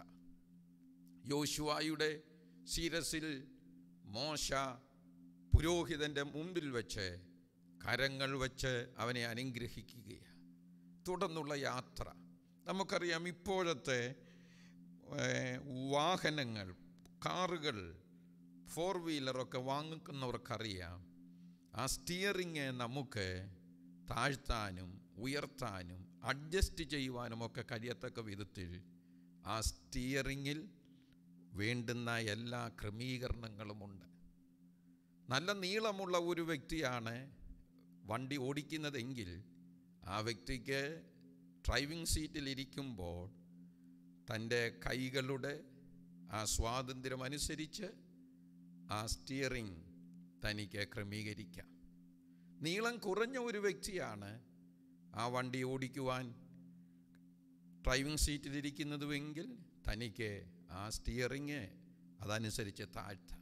ഞാൻ പറഞ്ഞത് ഒരു വാഹനമുണ്ടാക്കുമ്പോൾ ആ സ്റ്റിയറിങ്ങിന് ആ ഇരിക്കുന്ന ആളിന്റെ നീളവും കൈയുടെയൊക്കെ ആ ക്രമീകരണങ്ങളും അനുസരിച്ച് ആ സ്റ്റിയറിംഗ് ക്രമീകരിച്ച് വാഹനം ഓടിക്കത്തക്ക വിധത്തിൽ ഇവിടുത്തെ ഓട്ടോമൊബൈൽ എൻജിനീയറിംഗ് ഇത്രയുമൊക്കെ സൗകര്യമായ രീതിയിൽ ഉള്ള വണ്ടി നമുക്ക് കരങ്ങളിൽ തരുന്നുവെങ്കിൽ പ്രിയ ദൈവ പൈതലേ നിന്നെ സൃഷ്ടിച്ച നിന്റെ ദൈവം നിന്റെ ജീവിതത്തിന്റെ യാത്രയിൽ ഏത് സന്ദർഭത്തിൽ എവിടെ എങ്ങനെ ഏത് വളവിൽ ഏത് കയറ്റത്തിൽ ഏത് രാത്രിയിൽ എവിടെ അവിടൊക്കെ നിന്റെ ജീവിതയാത്ര പൂർത്തീകരിക്കത്തക്ക വിധത്തിൽ അവൻ അതിനുള്ള ബലം നിനക്ക് നൽകിത്തരും. അപ്പോൾ പരിശുദ്ധാത്മാവ് പ്രത്യേക സന്ദർഭങ്ങളിൽ അസാധാരണ ക്ഷാമം നേരിടുന്ന വേളയിൽ ഒരു പുതിയ കൺസെഷൻ ചെയ്യേണ്ടി വരുന്ന വേളയിൽ പത്ത് നാൽപ്പത് വർഷം ജനത്തെ നയിച്ച ജനനേതാവ് മാറി ഒരു പുതിയ നേതൃത്വം ഏറ്റെടുത്ത് യാത്ര ചെയ്യേണ്ടി വരുന്ന സന്ദർഭങ്ങളിൽ അവിടെല്ലാം സഹായിക്കുന്ന പരിശുദ്ധാത്മാവിന്റെ സഹായം യേശു ശിഷ്യന്മാർക്ക് ഉറപ്പു നൽകി കൊടുക്കുകയാണ്. ഇന്ന് പകൽക്കാലം ലോകം ഒരു പ്രത്യേക പരിസ്ഥിതിയിലൂടെ കടന്നു പോകുന്നു ഇവിടെ വലിയ മാറ്റങ്ങൾ സംഭവിക്കുന്നു. ഇവിടുത്തെ എല്ലാ സംവിധാനങ്ങൾക്കും മാറ്റം വരുന്നു. സ്കൂളുകളിൽ പോയി കുഞ്ഞുങ്ങൾ പഠിച്ച ആ പഠനകാലമൊക്കെ പെട്ടെന്ന് തിരികെ കിട്ടാത്ത വിധത്തിൽ വീടുകളിലൊക്കെ ഓൺലൈനായുള്ള ക്ലാസ്സുകൾ തുടങ്ങുന്നു. മദ്യം പോലും ഇപ്പോൾ ആപ്പ് വഴി വാങ്ങുന്ന സംവിധാനങ്ങൾ ഉണ്ടാകുന്നു. ഇതുവരെ ഉണ്ടായിരുന്ന സംവിധാനങ്ങൾക്കൊക്കെ മാറ്റങ്ങൾ വന്ന് ഒരു പുതിയ നിലയിലേക്ക് കാര്യങ്ങൾ മാറുന്ന ഈ സന്ദർഭത്തിൽ വിശ്വാസികളാകുന്ന ദൈവമക്കോട് എനിക്ക് ഓർപ്പിപ്പാനുള്ളത് ഈ കാലഘട്ടത്തിൽ മനുഷ്യപുത്രനെ ഏറ്റുപറയുവാൻ അവനെ സാക്ഷിക്കുവാൻ എനിക്കും നിങ്ങൾക്കും ലഭിച്ചിരിക്കുന്ന ഏറ്റവും മനോഹരമാകുന്ന അവസരങ്ങളാണ് ഇപ്പോഴത്തെ ഈ അവസരങ്ങൾ. വീടുകളിൽ ഇരുന്നാണ് നാം പ്രാർത്ഥിക്കുന്നതും കൂട്ടായ്മ കൂടുന്നതും അതിൽ അതിന്റേതാകുന്ന സന്തോഷവും അപ്പോൾ തന്നെ പരിമിതികളും ഉണ്ടെന്ന് നമുക്കറിയാം. എന്നാൽ ഒരു കാര്യം ഞാൻ തീർത്തു പറയാം. ഏത് അസാധാരണമായ സന്ദർഭങ്ങളിലും യേശു ക്രിസ്തുവിന്റെ സാക്ഷ്യം വഹിപ്പാൻ എന്നെയും നിങ്ങളെയും പരിശുദ്ധാത്മാവ് ശക്തീകരിക്കും എന്നുള്ള യാഥാർത്ഥ്യം മറന്നു പോകരുത്. Hallmark of the Holy Spirit അതായത് ഇപ്പം സ്വർണം വെള്ളി പ്ലാറ്റിനം തുടങ്ങിയ വിലയുള്ള വസ്തുക്കൾക്ക് അതിന് അതിന്റേതാകുന്ന ഒരു ഹോൾ മാർക്കുണ്ട് പരിശുദ്ധാത്മാവിന്റെ ഹോൾ മാർക്ക് എന്ന് പറയുന്നത് എന്താ? പരിശുദ്ധാത്മാവിന്റെ പ്രത്യേക ശക്തീകരണം എന്ന് പറഞ്ഞാൽ എനിക്കും നിങ്ങൾക്കും വേണ്ടുന്ന മോറൽ ആയ ആ കറേജ് ഫിസിക്കലായ ആ കറേജ് പരിശുദ്ധാത്മാവാണ് നമുക്ക് നൽകി തരുന്നത്. അതിന് തെളിവായി ഒന്ന് ദിനവൃത്താന്തത്തിൽ നിന്ന് ഒരു വേദഭാഗം ഞാൻ പെട്ടെന്ന് ഓർപ്പിക്കട്ടെ. ഫസ്റ്റ് ക്രോണിക്കൽസ് ചാപ്റ്റർ ട്വൽവ് ദിനവൃത്താന്തങ്ങളുടെ ഒന്നാം പുസ്തകം പന്ത്രണ്ടാം അധ്യായം. ആ പന്ത്രണ്ടാം അധ്യായത്തിൽ അതിന്റെ പതിനെട്ടാമത്തെ വാക്യം ആരംഭത്തിൽ ഞാനൊന്ന് വായിക്കാം. അപ്പോൾ മുപ്പത് പേരിൽ തലവനായ അമസ്യായുടെ മേൽ ആത്മാവ് വന്നു. ദാവിദേ ഞങ്ങൾ നിനക്കുള്ളവർ ഇസായി പുത്ര നിന്റെ പക്ഷക്കാർ തന്നെ. സമാധാനം നിനക്കു സമാധാനം. നിന്റെ തുണയാളികൾക്കും സമാധാനം. നിന്റെ ദൈവമല്ലോ നിന്നെ തുണയ്ക്കുന്നത് എന്ന് അവൻ പറഞ്ഞു.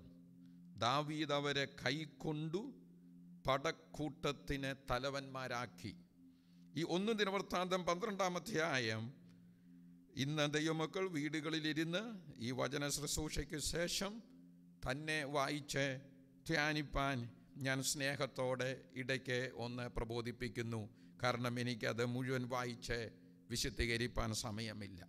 പന്ത്രണ്ടാം അധ്യായത്തിന്റെ ഒന്നാം വാക്യത്തിൽ നമ്മൾ കാണുന്നത് കീശിന്റെ മകനായ സൗലിന്റെ നിമിത്തം ദാവീദെ ഒളിച്ച് പാർത്തിരുന്നപ്പോൾ സിക്ലാഹിൽ അവന്റെ അടുക്കൽ വന്നവർ ആവിത്. ഇവിടെ ദാവീദ് ഭയന്ന് സിക്ലാഹിൽ കഴിയുകയാണ്. കാരണം ആര് നിമിത്തമാ? കീശിന്റെ മകനായ ഷൗലിന്റെ നിമിത്തം. ഭയം. ഇന്നത്തെ ഭയം നമുക്കറിയാം. ഒരു പനി വരുന്ന ഉടൻ തന്നെ കഴിഞ്ഞ ദിവസം നമ്മുടെ രണ്ട് മൂന്ന് വിശ്വാസികൾ വിളിച്ചു പാസ്റ്ററെ പ്രാർത്ഥിക്കണം. ചെറിയ പനിയാ തൊണ്ടവേദനയാ. ഞാൻ പറഞ്ഞു പ്രാർത്ഥിക്കാൻ പേടിക്കേണ്ട. വിളിച്ചപ്പോളേ മനസ്സിലായി. ഒന്ന് ചുമച്ചാൽ ഒരു തലവേദന വന്നാൽ ഒരു കൊച്ച് ചൂട് ശരീരത്തിൽ വന്നാൽ എല്ലാവർക്കും പേടിയാണ്. കൊറോണ കൂട്ടുകൂടാൻ വന്നതാണോ എന്ന്. ഞാൻ ദയ്യമ്മക്കോട് പറയട്ടെ കൊറോണ കൂട്ടുകൂടാൻ വന്നാൽ തന്നെ കോവിഡ് കൂട്ടുകൂടാൻ വന്നാൽ തന്നെ നിനക്കും എനിക്കും ഉറപ്പുണ്ടായിരിക്കണം. എന്റെ തലയിലെ രോമം പോലും എണ്ണി തിട്ടപ്പെടുത്തിയ ഒരു ജീവനുള്ള ദൈവത്തിന്റെ കരങ്ങളിൽ ഞാൻ സുരക്ഷിതനാണ്. ആ സുരക്ഷിതത്വം ഉണ്ടെന്ന് പറഞ്ഞ് മാസ്ക് ധരിക്കാതെ സോഷ്യൽ ഡിസ്റ്റൻസ് പാലിക്കാതെ നടക്കണം കറങ്ങി നടക്കണമെന്നല്ല ഞാൻ പറഞ്ഞത്.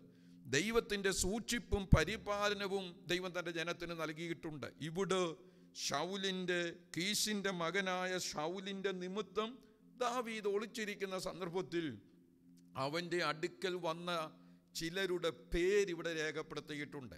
അതിൽ ഒന്ന് രണ്ട് പേരുടെ പ്രത്യേകത പരിശുദ്ധാത്മാവ് രേഖപ്പെടുത്തിയത് വായിക്കുന്നു.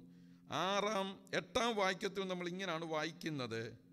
അവർ സിംഹമുഖന്മാരും മലകളിലെ മാൻപേടകളെ പോലെ വേഗത ഉള്ളവരുമായിരുന്നു. അവിടെ രേഖപ്പെടുത്തിയിരിക്കുന്ന ഇപ്രകാരമാണ് whose faces were like the faces of lion ദാവീദിന്റെ അടുക്കൽ വന്ന ഇവരുടെ മുഖം സിംഹമുഖം പോലെ. എന്താ? തൃശൂർ പൂരത്തിന് കടുവ കളിക്കുന്നത് പോലെ ദാവീദിന്റെ അടുക്കൽ വന്ന ഇവരുടെ മുഖത്ത് സിംഹത്തിന്റെ മാസ്ക് ധരിച്ചാണോ ഇവർ വന്നതല്ല. ഇവർ സാധാരണ മനുഷ്യരാ. പക്ഷേ അവരിലൊക്കെ എന്തുണ്ടായിരുന്നുവെന്ന് ചോദിച്ചാൽ ദൈവാത്മാവിന്റെ ശക്തി അവർ അനുഭവിച്ചവരാ. അവർ സിംഹമുഖന്മാരാണ്. കാട്ടിലെ രാജാവായി വാഴുന്ന സിംഹം പോലെ ദാവീദിന്റെ അടുക്കൽ വന്നവർക്ക് ഒരു കാര്യം അറിയാം. ഷൗൽ കീശിന്റെ മകൻ ദാവീദ് കീശിന്റെ മകൻ ഷൗൽ ദാവീദിനെ കൊല്ലത്തക്ക വിധത്തിൽ പദ്ധതി ഇട്ടിട്ടുണ്ടെങ്കിലും ദാവീദ് ജയിക്കും കാരണം ദൈവം അവനെ തിരഞ്ഞെടുത്തത്. ഇങ്ങനെ ഉള്ളവർ ദാവീദിന്റെ അടുക്കൽ വന്ന് കൂടുന്ന സന്ദർഭത്തിൽ അവരിൽ ഒരുവനായ അമസ്യായുടെ മേൽ ആത്മാവ് വന്ന സന്ദർഭത്തിൽ അവൻ പറഞ്ഞ വചനങ്ങളാ. അവൻ പറഞ്ഞ വാക്കുകൾ ആത്മനിയോഗത്തോടവൻ പറഞ്ഞ വചനങ്ങൾ. ഇന്ന് പകൽ എനിക്ക് ദൈവമക്കോട് പറയുവാനുള്ളത് ആത്മനിയോഗത്താൽ പരിശുദ്ധാത്മാവിന്റെ നിറവിനാൽ അപ്പോസ്തോലന്മാരും പ്രവാചകന്മാരും മുൻപറഞ്ഞ തിരുവെഴുത്തുകളെ ഈ കാലഘട്ടത്തിൽ ഒന്നും കൂടെ ദൈവമക്കൾക്ക് മുറുകെ പിടിക്കുവാൻ കഴിയണം. നിങ്ങൾ പത്രങ്ങൾ വായിച്ചും ന്യൂസ് കണ്ടും മുഖ്യമന്ത്രിയുടെ വാർത്താ സമ്മേളനം കേട്ടും കോവിഡ് ഓരോ ദിവസം മരിക്കുന്നവരുടെ എണ്ണവുമൊക്കെ കണ്ട് മനസ്സ് വ്യാകുലപ്പെട്ടിരിക്കാതെ ഈ വാർത്തകളൊക്കെ വായിക്കുകയും കാണുകയും ചെയ്യുമ്പോൾ ദൈവത്തിന്റെ വചനം അതിനേക്കാൾ ഉപരിയായി നിങ്ങളുടെ ഹൃദയത്തിൽ നിങ്ങൾ ധ്യാനിക്കണം. ദൈവത്തിന്റെ വചനം ആകാശം മാറിയാലും ഭൂമി മാറിയാലും അവന്റെ വചനം അതിന്റെ വള്ളിയോ പുള്ളിയോ മാറിപ്പോകുകയില്ല. സ്വർഗത്തിൽ എന്നേക്കും സ്ഥിരമായിരിക്കുന്ന വചനം പുല്ലുണങ്ങും പൂ വാടിപ്പോകും. എന്നാൽ ദൈവത്തിന്റെ വചനമോ എന്നേക്കും നിലനിൽക്കും. ഈ ദൈവത്തിന്റെ വചനം ജീവനുള്ളതാണ് ചൈതന്യമുള്ളതാണ് ഇരുവാഴ്ത്തലിയുള്ള ഏത് വാളിനേക്കാളും മൂർച്ചയുള്ളതാണ്. അസ്ഥികളെയും പ്രാണനെയും അത് തുളച്ചു ചെല്ലുന്നതാണ്. ഈ വചനം അയച്ച് സൗഖ്യം അവൻ നൽകുന്നവനാണ്. അവന്റെ വചനം അതിവേഗം ഓടുന്ന വചനമാണ്. ആകയാൽ പരിശുദ്ധാത്മാവിനാൽ എഴുതപ്പെട്ട ഈ വചനം ദൈവമക്കൾ അതേ ആത്മാവിന്റെ നിറവോടും അതേ ആത്മാവിന്റെ നിയോഗത്തോടും കൂടെ വായിച്ച് ധ്യാനിച്ച് ബലപ്പെടുവാൻ നമുക്കിടയാകണം. അപ്പോൾ യേശു ശിഷ്യന്മാരോട് പറഞ്ഞത് ഇങ്ങനാണ്. പ്രത്യേക സാഹചര്യത്തിൽ പ്രത്യേക സന്ദർഭങ്ങളിൽ ലോകം ഇതുവരെയും അഭിമുഖീകരിക്കാത്ത നിലയിലുള്ള വിഷയങ്ങൾ നിങ്ങൾ ഓരോരുത്തരും അഭിമുഖീകരിക്കേണ്ടി വരുമ്പോൾ സഭയായി അഭിമുഖീകരിക്കേണ്ടി വരുമ്പോൾ ഭൂമിയിലെ ദൈവസഭ എടുക്കപ്പെടുന്ന നാളുവരെ ദൈവസഭ ഈ വിധത്തിലുള്ള പ്രശ്നങ്ങളിലൂടെ കടന്നു പോകേണ്ടി വരുമ്പോൾ എന്ത് പറയണം? എങ്ങനെ പറയണം? എന്നൊന്നും ഓർത്ത് നിങ്ങൾ വ്യാകുലപ്പെടേണ്ട ആ നാഴികയിൽ നിങ്ങൾ പറയേണ്ടുന്നത് പരിശുദ്ധാത്മാവ് നിങ്ങൾക്ക് നൽകിത്തരും ഓരോ സന്ദർഭത്തിലും നമ്മെ ശക്തീകരിക്കുന്ന നമ്മെ സഹായിക്കുന്ന പരിശുദ്ധാത്മാവ്. അങ്ങനെ നമ്മളെ ശക്തീകരിക്കത്തക്ക വിധത്തിൽ പരിശുദ്ധാത്മാവ് പിതാവാം ദൈവം സർവശക്തനായിരിക്കുന്നത് പോലെ പുത്രനാം ദൈവം സർവശക്തനായിരിക്കുന്നത് പോലെ പരിശുദ്ധാത്മാവാം ദൈവവും സർവശക്തൻ തന്നെയാണ്. അതുകൊണ്ടാണ് റോമാലേഖനം പതിനഞ്ചാം അധ്യായം അതിന്റെ പതിമൂന്ന് മുതലുള്ള വാക്യത്തിൽ നമുക്കത് കാണുവാൻ കഴിയും. റോമൻസ് ചാപ്റ്റർ ഫിഫ്റ്റീൻ അതിന്റെ പതിമൂന്നാം വാക്യം മുതലുള്ള വാക്യത്തിൽ നാം ഇങ്ങനെയാണ് വായിക്കുന്നത്. ഞാൻ അതും കൂടെ ഒന്ന് വായിക്കട്ടെ. എന്നാൽ പ്രത്യാശ നൽകുന്ന ദൈവം പരിശുദ്ധാത്മാവിന്റെ ശക്തിയാൽ നിങ്ങൾ പ്രത്യാശയിൽ സമൃദ്ധി ഉള്ളവരായി വിശ്വസിക്കുന്നതിലുള്ള സകല സന്തോഷവും സമാധാനവും കൊണ്ട് നിങ്ങളെ നിറയ്ക്കുമാറാകട്ടെ. പരിശുദ്ധാത്മാവാം ദൈവം ദൈവം സർവശക്തനായിരിക്കുന്നത് പോലെ പരിശുദ്ധാത്മാവും സർവശക്തനാണ്. ദൈവം അബ്രഹാമിനോട് പറഞ്ഞല്ലോ ഞാൻ സർവശക്തനായ ദൈവമാണ്. പരിശുദ്ധാത്മാവും ആരാണെന്ന് ചോദിച്ചാൽ അവൻ സർവശക്തനാണ്.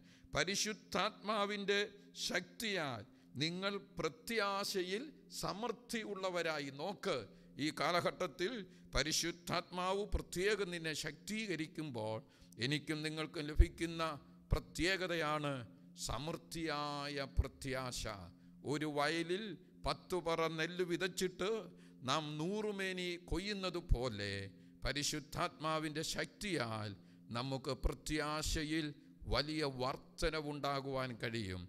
എല്ലാ കാലഘട്ടത്തെക്കാളും ഈ കാലഘട്ടത്തിൽ ദൈവമക്കൾ എങ്ങനെ ജീവിക്കണമെന്ന് ചോദിച്ചാൽ പരിശുദ്ധാത്മാവിന്റെ ശക്തിയാൽ നമുക്ക് ലഭിക്കുന്ന ആ പ്രത്യാശയുടെ സമൃദ്ധിയിൽ നമുക്ക് ജീവിപ്പാൻ കഴിയണം. നമ്മുടെ മുഖം നോക്കുമ്പോൾ നമ്മുടെ വാക്കുകൾ കേൾക്കുമ്പോൾ നമ്മൾ കൂട്ടുവിശ്വാസികളെ വിളിക്കുമ്പോൾ ഒക്കെ അവർക്ക് അവരോട് നാം സംസാരിക്കുമ്പോൾ നമ്മുടെ വായു നിന്ന് വരുന്ന വാക്കുകൾ നിരാശയുടെ വാക്കുകളായിരിക്കരുത്. പിന്നെയോ എല്ലാം പ്രത്യാശയുടെ ഉറപ്പിന്റെ വാക്കുകളായിരിക്കണം. ഈ പ്രത്യാശയുടെ വാക്കുകൾ ഈ ഉറപ്പിന്റെ വാക്കുകൾ പറയുവാൻ നമ്മെ ശക്തീകരിക്കുന്നത് ആരാ? പരിശുദ്ധാത്മാവാണ്. ആകയാൽ നിങ്ങളെ കോടതികളുടെ മുമ്പാകെ അധികാരികളുടെ മുമ്പാകെ യേശുവിന്റെ നാമം ചോദ്യം ചെയ്യുന്ന ദുഷ്ടരാകുന്ന മനുഷ്യരുടെ മുമ്പാകെ നീതിപീഠങ്ങളുടെ മുമ്പാകെ നിങ്ങളെ കൊണ്ടുപോയി നിർത്തുമ്പോൾ അവിടെ നിങ്ങൾ മുഖം കുനിച്ച് ക്ഷീണിച്ച് യേശുവിന്റെ നാമം തള്ളിപ്പറഞ്ഞ് പിൻപോട്ട് പോകുന്നവരുടെ കൂട്ടത്തിലല്ല മറിച്ച് അവിടെ ഏറ്റവും പ്രത്യാശയുള്ളവരായി ഏറ്റവും ധൈര്യമുള്ളവരായി ഏറ്റവും ഉറപ്പുള്ളവരായി യേശു ക്രിസ്തുവിന്റെ സാക്ഷ്യം നിർവഹിക്കത്തക്ക വിധത്തിൽ നമ്മെ സഹായിക്കുന്ന പരിശുദ്ധാത്മാവിന്റെ ശക്തീകരണത്തിനായി ദൈവത്തിന് സ്തോത്രം ചെയ്യുന്നു. ഈ പ്രബോധനം ഇവിടെ പ്രാർത്ഥിച്ച് നാം അവസാനിപ്പിക്കുകയാണ്. എല്ലാ ദൈവമക്കോടും എനിക്ക് സ്നേഹത്തോടെ ഓർപ്പിപ്പാനുള്ളത് ഈ ഒരു പുതിയ സാഹചര്യത്തിൽ. ലോകം പെട്ടെന്ന് മാറുന്ന ഈ ഒരു പുതിയ സംവിധാനത്തിൽ ലോകരാഷ്ട്രങ്ങളൊക്കെ എന്ത് ചെയ്യണം എന്നൊക്കെ ഓർത്ത് വിറങ്ങലിച്ച് നിൽക്കുന്ന ഈ സാഹചര്യത്തിൽ ഞാനും നിങ്ങളും എന്നെയും നിങ്ങളെയും ദൈവം തിരഞ്ഞെടുത്തത് അറിയാതെ തിരഞ്ഞെടുത്തതല്ല അവൻ നമ്മെ മുൻകൂട്ടി ഈ കാലഘട്ടത്തിൽ അവന്റെ സാക്ഷികളായി നിൽപ്പാൻ ദൈവം നമ്മെ തിരഞ്ഞെടുത്തതാ. ആകയാൽ ഉറപ്പുള്ളവരായി ധൈര്യമുള്ളവരായി പരിശുദ്ധാത്മാവിന്റെ അതാതു സന്ദർഭത്തിൽ ശക്തീകരിക്കുന്ന ആത്മശക്തിക്കായി നമ്മെ തന്നെ സമർപ്പിക്കാം. ഈ വചനങ്ങളാൽ കർത്താവ് നമ്മെ അനുഗ്രഹിക്കുമാറാകട്ടെ. ആമേൻ.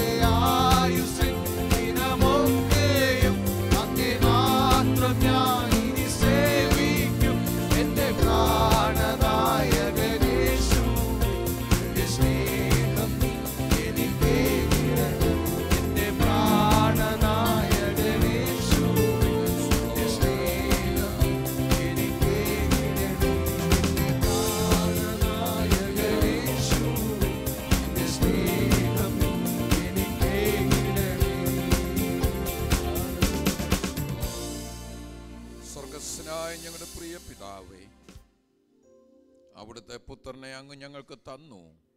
പരസ്യമായി കാൽവറി ക്രൂശിൽ.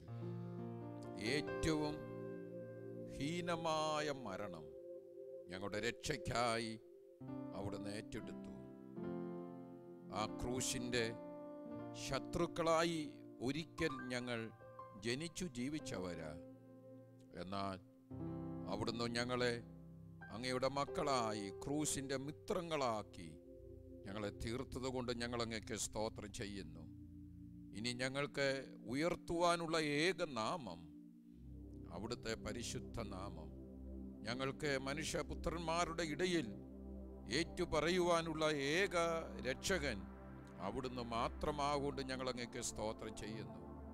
ഞങ്ങൾക്ക് ലഭിച്ചിരിക്കുന്ന എല്ലാ അവസരങ്ങളും കുടുംബങ്ങളുടെ നടുവിൽ ചാർച്ചക്കാരുടെ നടുവിൽ ബന്ധുമിത്രാദികളുടെ നടുവിൽ ജന്മനാട്ടിൽ പിതൃദേശത്ത് സഞ്ചരിക്കുന്ന ഇടങ്ങളിൽ ജോലി ചെയ്യുന്ന സ്ഥാപനങ്ങളിൽ പഠിക്കുന്ന സ്ഥാപനങ്ങളിൽ ഞങ്ങളുടെ പ്രവർത്തന മേഖലകളിൽ അകത്തു ഞങ്ങൾ വരുമ്പോൾ പുറത്തു ഞങ്ങൾ പോകുമ്പോൾ എപ്പോഴും എല്ലായിടത്തും അങ്ങയെ ഏറ്റുപറയുന്ന അങ്ങയെ വെളിപ്പെടുത്തുന്ന അവിടുത്തെ നാമത്തിന് മഹത്വം വരത്തക്ക വിധത്തിൽ ഒരു പ്രാവശ്യം കൂടി തിരുസന്നിധിയിൽ ഞങ്ങളെ സമർപ്പിക്കുന്നു. ഞങ്ങൾക്ക് സ്വയമേ കഴിവില്ല കർത്താവേ. എന്നാൽ ശക്തീകരിക്കുന്ന പരിശുദ്ധാത്മാവിന്റെ ആ വിശേഷമായ ശക്തിക്കായി ഞങ്ങൾ നന്ദി അർപ്പിക്കുന്നു. കർത്താവേ ആ ആത്മശക്തിയാൽ ഒന്നും കൂടെ നിറയപ്പെടേണ്ടതിന് ഇന്ന് പകൽക്കാലത്തെ വചനം ഞങ്ങൾക്ക് അനുഗ്രഹമായി തീരണം എന്നടി ഞങ്ങൾ അങ്ങോട്ട് പ്രാർത്ഥിക്കുന്നു. ഈ സന്ദർഭത്തിൽ സഭയാം കുടുംബങ്ങളെ ഒരിക്കൽ കൂടി സമർപ്പിച്ച് പ്രാർത്ഥിക്കുന്നു. പ്രിയ കൊച്ചുമച്ചാനും കൊച്ചുമകൾക്കും അവിടുന്ന് അത്ഭുതകരമായി വിടുവിച്ചതുകൊണ്ട് ഞങ്ങൾ അങ്ങേക്ക് സ്തോത്രം ചെയ്യുന്നു. പ്രിയ മുരളി ബ്രദറിന് വേണ്ടി പ്രാർത്ഥിക്കുന്നു. അവിടുന്ന് സൗഖ്യം നൽകണമേ. റബേക്ക സിസ്റ്റർക്ക് വേണ്ടി പ്രാർത്ഥിക്കുന്നു. ശരീരത്തിന് വേണ്ടുന്ന ആരോഗ്യവും സൗഖ്യവും നൽകണമേ. പ്രായമുള്ള മാതാപിതാക്കൾക്ക് വേണ്ടി പ്രാർത്ഥിക്കുന്നു. സൗഖ്യവും ആരോഗ്യവും തിരുമേനി നൽകണമേ. ഞങ്ങളുടെ കുഞ്ഞുങ്ങൾ പഠിക്കുന്ന ഇടങ്ങളിൽ പരീക്ഷ എഴുന്ന ഇടങ്ങളിൽ ഒക്കെ ഏറിയ ദൈവകൃപ തിരുമേനി നൽകണമേ. ലോകത്തിന്റെ ജ്ഞാനവും അറിവും ഒക്കെ സമ്പാദിക്കുമ്പോൾ പരിശുദ്ധാത്മാവിന്റെ നിറവും പരിശുദ്ധാത്മാവിന്റെ ശക്തിയും ഞങ്ങളിലോ ഞങ്ങളുടെ തലമുറകളിലോ കുറഞ്ഞു പോകുവാനിട വരരുത്. പരിശുദ്ധാത്മാവിനെ വേദനിപ്പിക്കുന്ന സംശയിക്കുന്ന പരിശുദ്ധാത്മാവിനെ ദുഷിക്കുന്ന ഒന്നും ഞങ്ങളുടെ ജീവിതത്തിൽ ഉളവാകുവാൻ അങ്ങനെയുള്ള ഒന്നിനും ഞങ്ങൾ കർത്താവെ പങ്കുള്ളവരായി തീരാൻ ഇടവരാതെ അങ്ങയുടെ ആത്മാവിന്റെ നിറവിലും നിയോഗത്തിലും ഒരു വിശുദ്ധ ജീവിതം ചെയ്യുവാൻ ഞങ്ങളെ സമർപ്പിക്കുന്നു. സഭയായി ഞങ്ങളെ ഏൽപ്പിക്കുന്നു. സഹോദരി സഹോദരന്മാരായി വെളി രാജ്യങ്ങളിലുള്ള ഞങ്ങളുടെ പ്രിയപ്പെട്ടവരെ ഞങ്ങൾ ഓർക്കുന്നു. കത്രുവേലയിലായിരിക്കുന്നവരെ ഓർക്കുന്നു. മെഡിക്കൽ ഫീൽഡിലുള്ളവരെ ഞങ്ങൾ ഓർക്കുന്നു. തിരുമേനയുടെ പ്രത്യേക സൂക്ഷിപ്പ് നൽകുന്നുകൊണ്ട് സ്തോത്രം. സകല മഹത്വവും അങ്ങയ്ക്കർപ്പിക്കുന്നു യേശു ക്രിസ്തുവിൻ നാമത്തിൽ തന്നെ. ആമേ നമ്മുടെ കർത്താവായ യേശു ക്രിസ്തുവിന്റെ കൃപ പിതാവാം ദൈവത്തിന്റെ സ്നേഹം ആശ്വസിപ്പിച്ച വഴി നടത്തുന്ന പരിശുദ്ധാത്മാവിന്റെ ദിവ്യമായ നടത്തിപ്പ് നമ്മോടും കുടുംബങ്ങളോടും സകല വിശുദ്ധന്മാരോടും കൂടെ ഇന്നും എന്നേക്കും ഉണ്ടായിരിക്കുമാറാകട്ടെ. ആമേ അർക്കപ്പെട്ട കുഞ്ഞാടിനും മഹത്വം.